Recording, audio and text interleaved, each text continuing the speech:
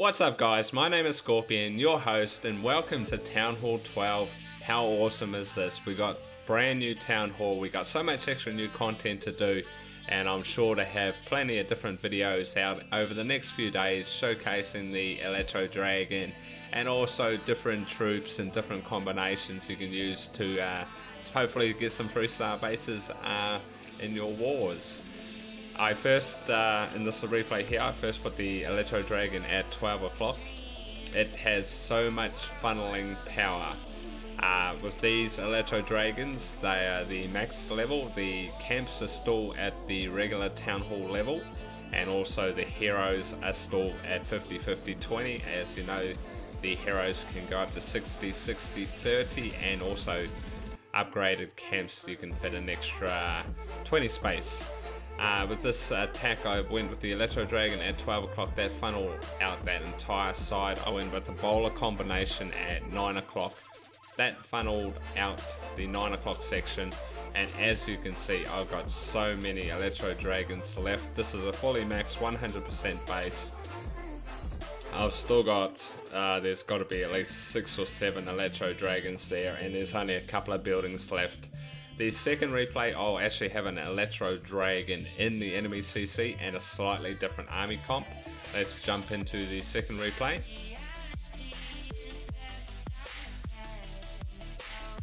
The second replay, as you can see, I've got an Electro Dragon in the enemy CC.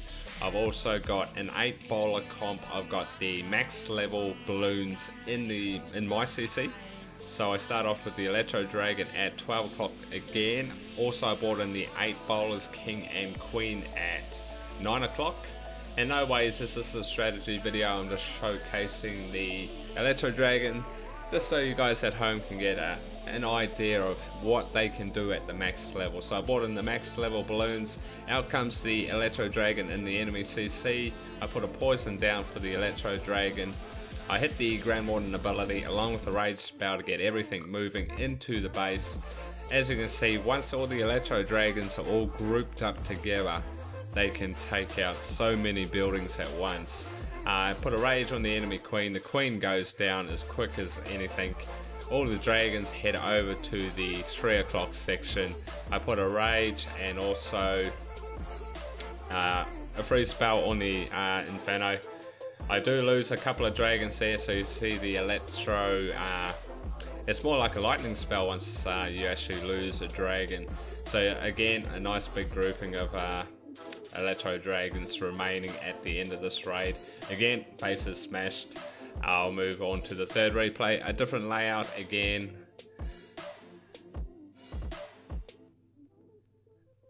Onto our last layout. A slightly different version. This time I've gone back to the original version where I had the four balloons, the eight Electro Dragons, the CC what was bowlers, uh, four rages, one rage in the CC, and also two freeze spells along with the poison spell. So I started off with the Electro Dragon at 3 o'clock this side, so it will take down a lot of buildings. Also I bought the Gobo with the Queen at 12 o'clock that will funnel out the 12 o'clock section. I then had to bring in uh, one Electro Dragon to help the funnel on the Elixir storage at 2 o'clock. I lose the Electro Dragon at the 3 o'clock section. I bring in all my balloons with a Rage spell. I'll hit the Grand Warden ability in a second. And you'll see all these buildings about to be taken out. I put a freeze spell on top of the enemy Queen along with a poison spell all the Electro Dragons now group up around the Town Hall. I force a Rage to get them uh, more centered.